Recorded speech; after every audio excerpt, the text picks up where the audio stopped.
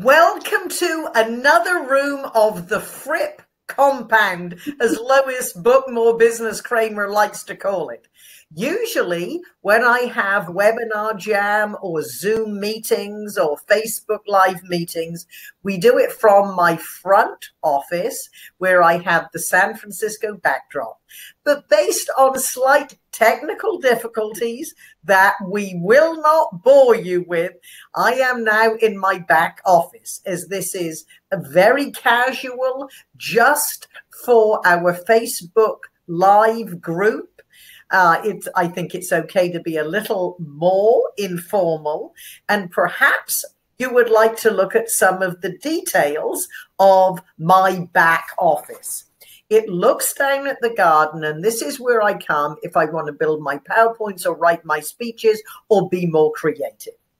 And one very important piece of memorabilia that if you were at the convention the year that NSA rocked, which was in New York. Mark LeBlanc was our president in the opening general session. He slid on stage just very much as Tom Cruise had done.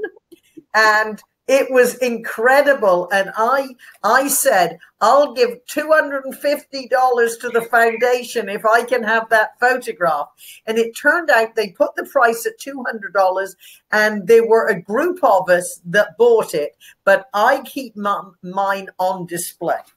Also as you know or perhaps you don't know but you should my persona is Wonder Woman, and I have a custom made Wonder Woman costume. And in this office, we have some of my Wonder Woman memorabilia.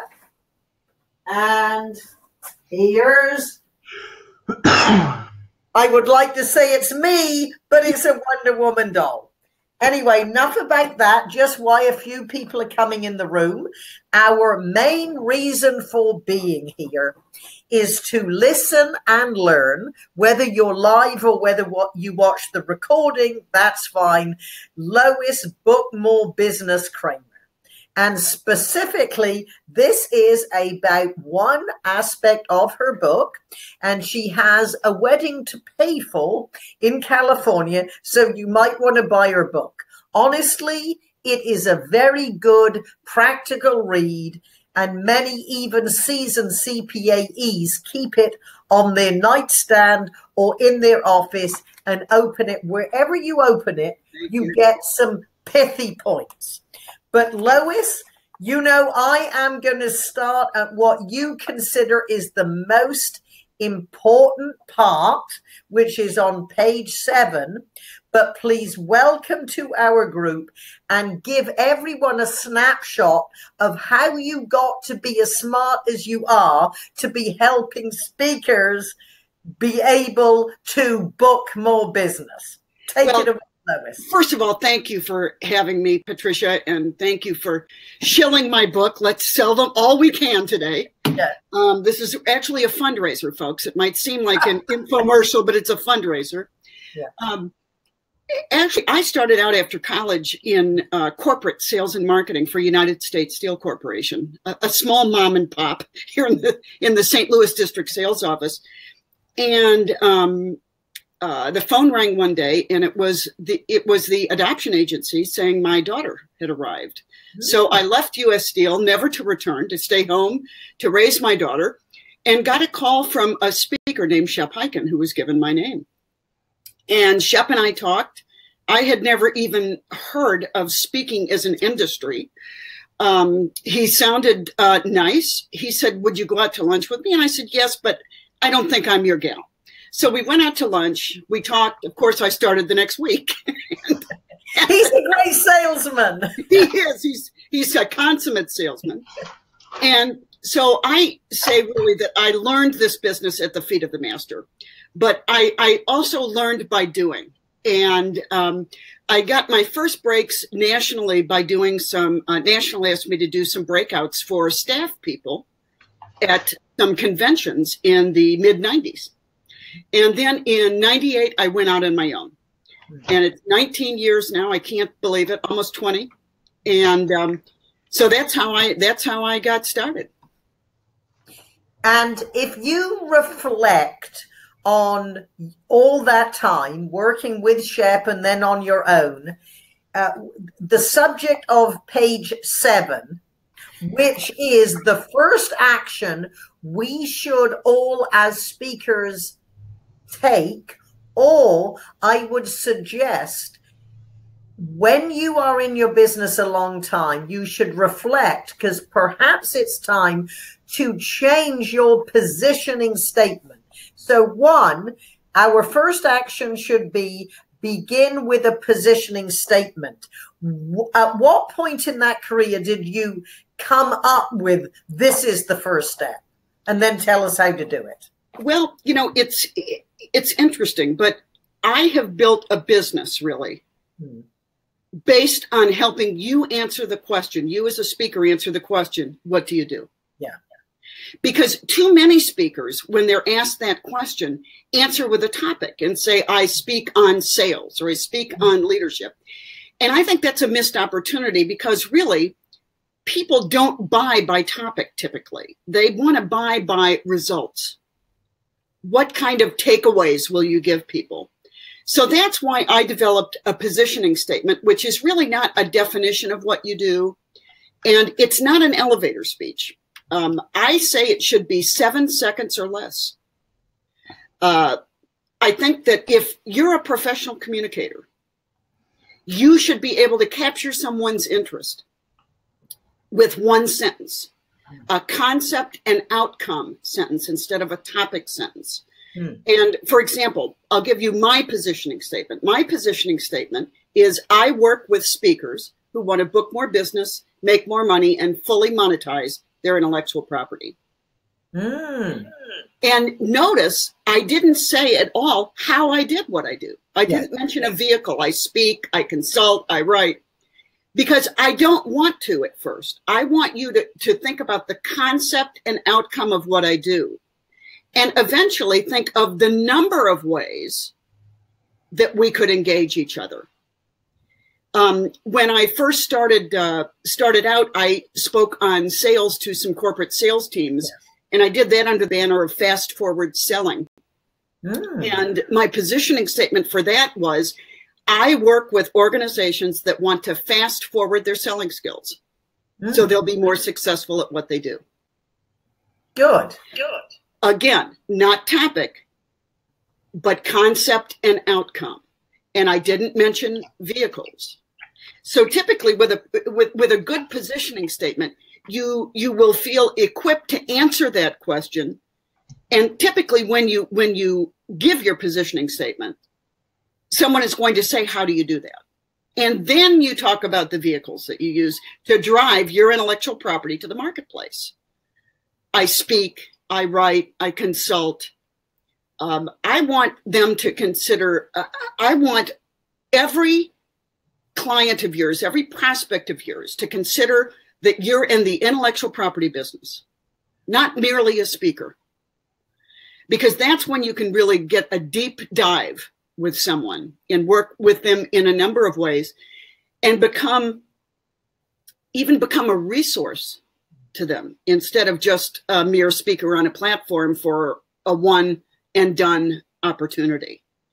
So that's why I think positioning statements are incredibly important. It's also the, uh, I use it when I'm leaving a voicemail. If, if I were trying to get Patricia, I would say, and I got her voicemail, I would say, Patricia, my name is Lois Creamer, and I work with speakers like you who want to book more business, make more money, and fully monetize their intellectual property. I'm sorry I missed you today. Blah, blah, blah, blah, blah. Good. And Good. it's the signature of my emails. It's the signature on my blog post. It says copyright 2018. Lois works with professional speakers who want to. So it's your everything. Mm. It's your everything. And and, and, I, and Paul, yeah. Paul is lurking in the background. Uh, Paul, I'm hearing a little echo with me. Uh, but if anyone wants to type in their position statement, let Lois know and she can critique it. Be happy to. Good. Give us Be a couple of examples of what works, what doesn't work. In other words, people said, Oh, this is mine. I've already worked it. And you said, No, that's not good enough. Yeah. The um, one of the most common pitfalls when creating a positioning statement uh, is people will send theirs to me and they begin by saying, I help. Hmm. I help organizations or I help people. And I say help is a very benign word. We work, we get we get paid for what we do. So don't use the word help. help. Don't use the word teach. Teachers are underpaid. We don't want to teach. We want to work. Mm. And organizations is just um, mm. inclusive language. Um, if you target market, which I highly recommend, you might want to say, um, I work with organizations in the financial services market who want to blah, blah, blah, blah, blah. Um, but one thing I, I did want to uh, I did want to mention lots of times people make their positioning statements too long because they're trying to put their bio in a positioning statement. And that's a big mistake because when you do that, I think we're assuming too much interest at first blush.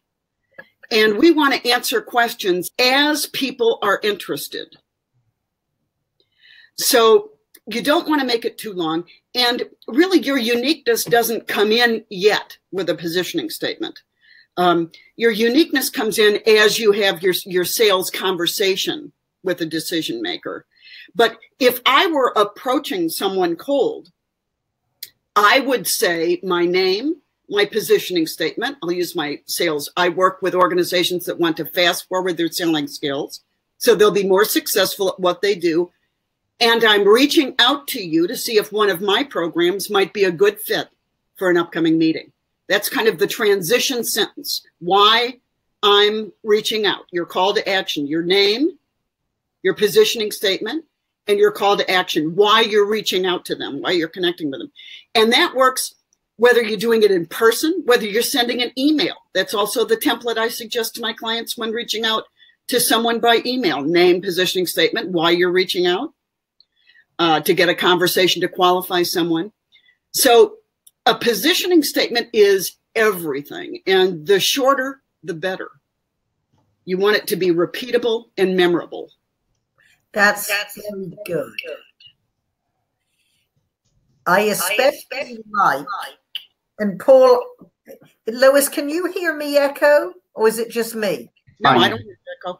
It just All takes right. a few seconds for Lois's noise canceling to catch up, so you're good now. All right, thank you.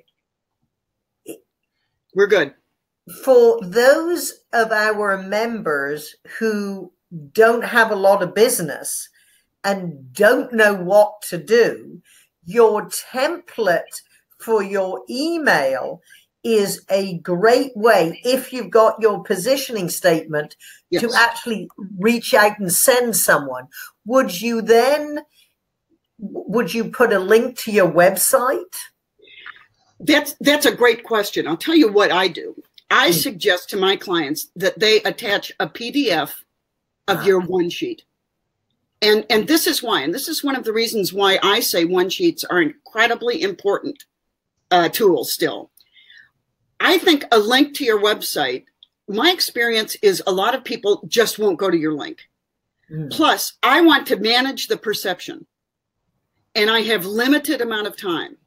So I look at a one sheet as the kind of the macro look at my business, the 30,000 feet look at my business, um, the core things that I offer, my core offerings.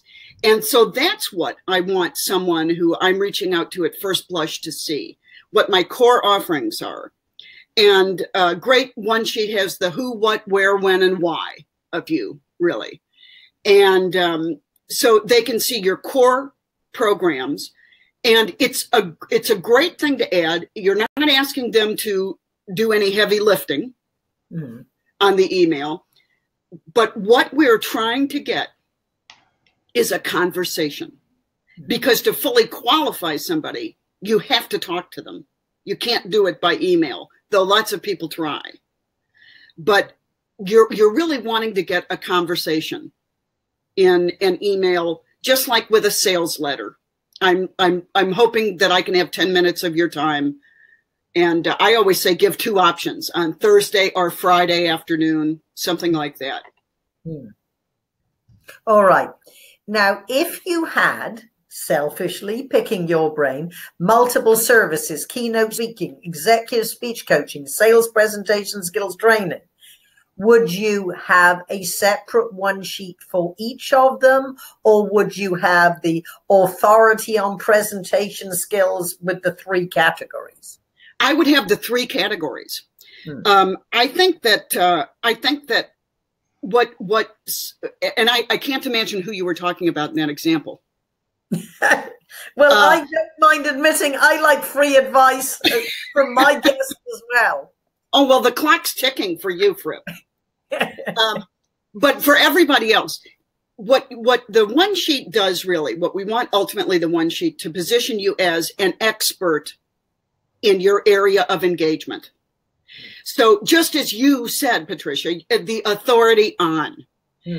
and you might even want to say on a one sheet for your positioning statement, you might want to open it differently. You might want to say, I work with people who want to, mm. because that covers large groups, individuals, small groups. Um, so I work with people who want to. Okay. All right, good. Now, uh, Paul, are there any questions or statements that we need to acknowledge before I go to my next one? we do have two positioning statements. All right. First one is Stuart Harris, and he said, and his is. He's a troublemaker. Yay! He joined the group just to listen to you. Oh, so it's only fair we, and it's late at night with him, so it's only fair we take his. I agree. All right. So, um, speaking as him, I work with businesses that need to win more customers serve them better, and keep them longer. Mm. I like it. I um, far be it from me to uh, criticize Stuart this late at night.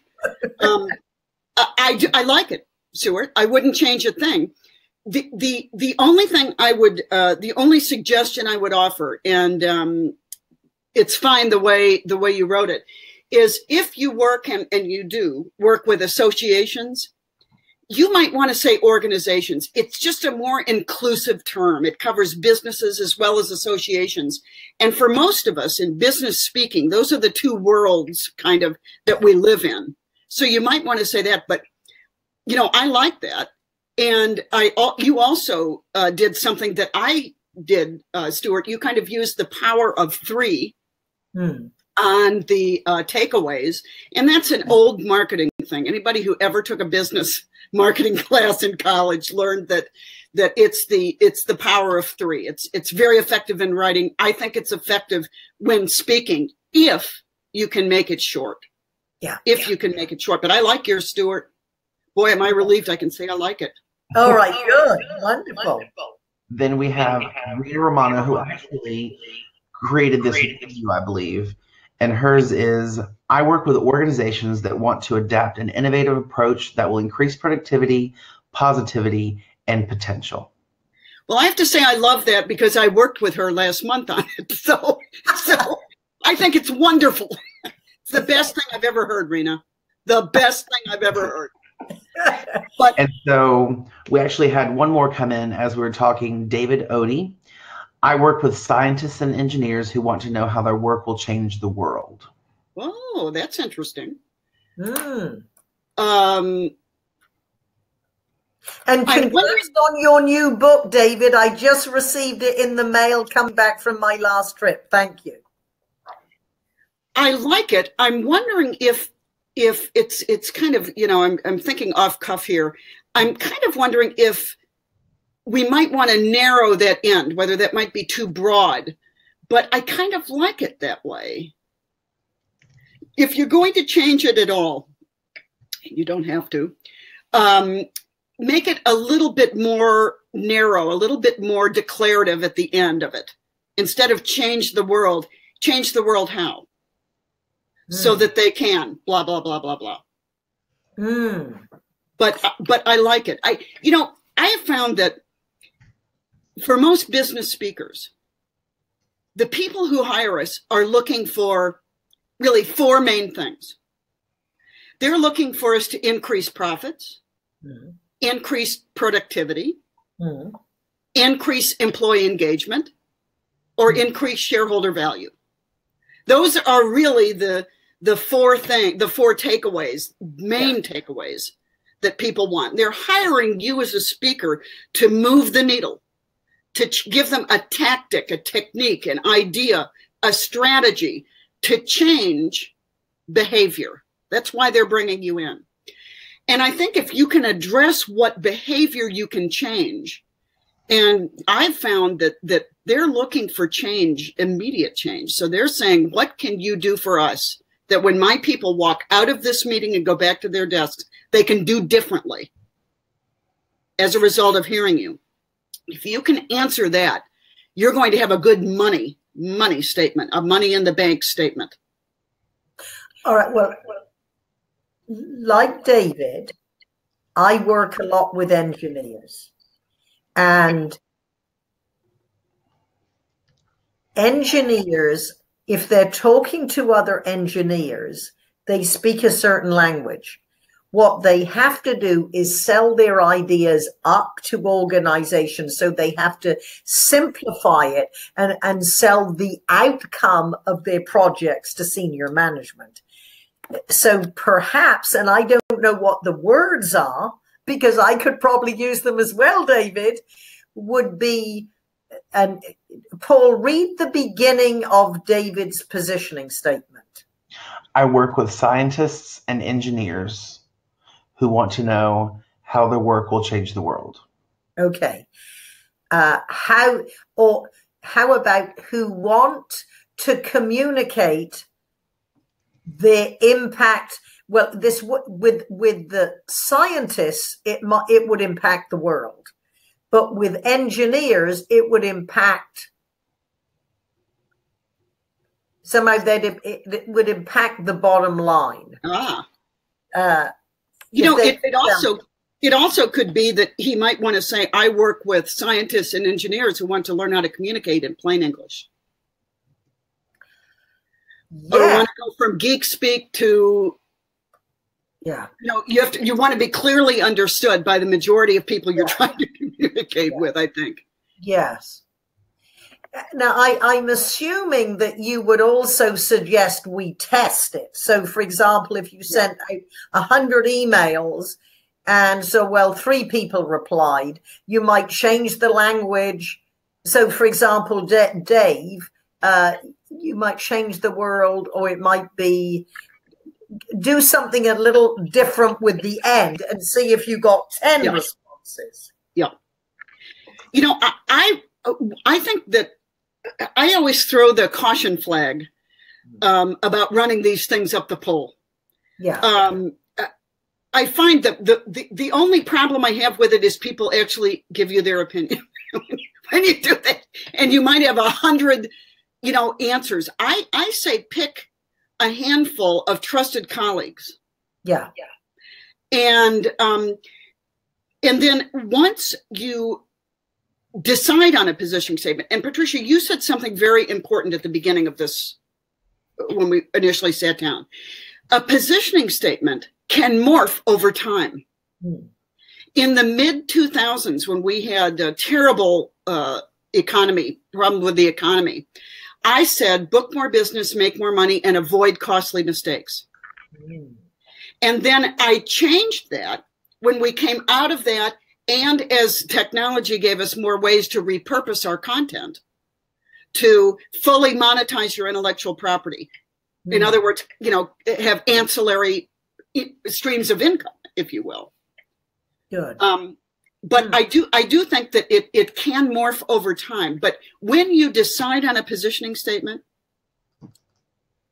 say it a hundred times a day for a week, so that you sound it coming from your subconscious. You don't have to think to say it. It doesn't sound like you're reading it, and then leave yourself a voicemail mm. saying it and see how you sound.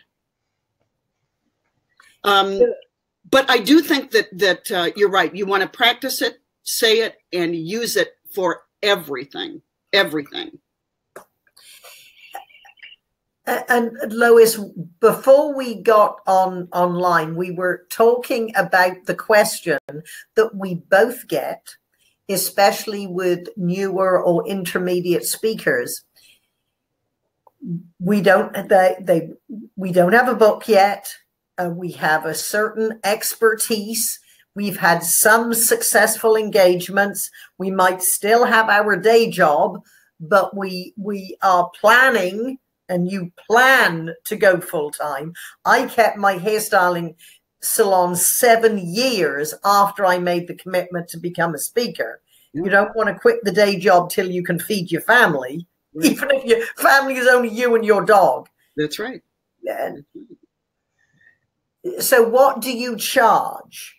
And we, which is a very difficult question to answer, but at least your positioning statement would help you perhaps charge more while you are developing your presentation skills if people want the outcome, which is why yeah. it's so important. Uh, Lois, you said that's a question I don't like answering. So, do you want to give any comments with? Because this is not NSA, we can yeah. talk money in a way you couldn't if this was an NSA chapter. Uh, any, it, general guidelines? I think it's it's a diff, difficult question to act to ask. It what what it depends upon is this: what is your area of expertise? The first thing you've got to know is it marketable. Hmm. Do people have businesses historically paid for this kind of program? And you can do that by, by doing an online search. Yeah. If it is marketable and you've gotten some experience um, uh, giving it. Get to Toastmasters, by the way. I call Toastmasters the off Broadway of speaking. Get in there and practice. Then go on Fripp VT virtual before. Then you can hire her when you get really successful. But um, when you feel that you have a speech and you you have some experience, get out there. People who tell me they want to speak, I say then get out there and speak. Yeah. Go to your local business journal open it up. Inside is a calendar of events that gives you every meeting that's taking place in your hometown in the next week. And if it's a luncheon, they will let you know whether they use a speaker for a 20 to 30 minute program. If they do call and say, I have a program, I work with organizations like yours who want to yada, yada, yada, and I have a program, I'd love to come in and give it to your group. If you like what you hear, I'd love a testimonial saying you were happy. Then your job is to leverage a few of those testimonials into something that pays. And when you're first asking for money, don't ask for too much. It's easier to go up in fee and it can kill you to go down. So you might want to ask 500, 750, $1,000. This depends upon your experience, your expertise, and you know in your in your speech your experience is going to drive the stories that you have to tell. So do you have some great stories that come organically as a result of your own experience? And the more of those you have i think then that's when your fee goes up. What do you think patricia? Well yes and my point of view and i just opened the page to fee or not to fee which is pay uh, 50, uh, 57, 8, 9, 59. yeah, to be another. My philosophy is there is no, there are no free speeches because one, you practice your speech. Two, you have visibility in the community because every group you speak for, whether it's for free or fee, is going to advertise the meeting and who they're speaking is. That's true you have the opportunity to network with new people. And within your speech, you have stories about your expertise, and somebody else reads your introduction. And what I used to do, because this is how I started, and all I would do a drawing, and whoever I pulled out could have a free ha- hairstyle at my salon. And I knew that they'd all go back and everyone say, "Oh, well, you went to Miss Fritz for a haircut. Let's see how you look like." So it was good maximizing, and then of course, and that was before we had contact management systems, right. LinkedIn. So I had then cards that I could follow up and, and write a note. But that is a good way. So there's no free speech. You you do get experience. Now the first of my free speech, I was paid to speak in the hairstyling industry, but my first paid speeches, people came up at those events. The first person at the Oakland appliance dealers said, What would you charge? I said, $50. He heard me speak at another group years later. And next, he said, "Oh, what would you charge to say that to the Oakland appliance dealers?" I said five thousand that time, and he paid it. There you go. And in fact, what I will put a link into our group. I have an eight minute uh, video of how I got started. I have it on YouTube and I will link it in as a follow up. Now, I'll ask you, we, we promised our people to keep this relatively short as it's streaming live. I know we'll have another of these conversations, and I'm going to now just opened it at any page. And this is page 95. Do you need a book? Uh, the answer is no. Uh, if if you are starting out and you don't have a book, don't rush to do a book. I always tell people you've got to live with your expertise and live with your material a little bit uh, before I think that you put it in print. But what you should have is you should start a blog tomorrow or today. Because a blog, I call my blog my intellectual property on parade. Yes. It lets people know I can do a deep dive in a number of areas, even if I don't have a book.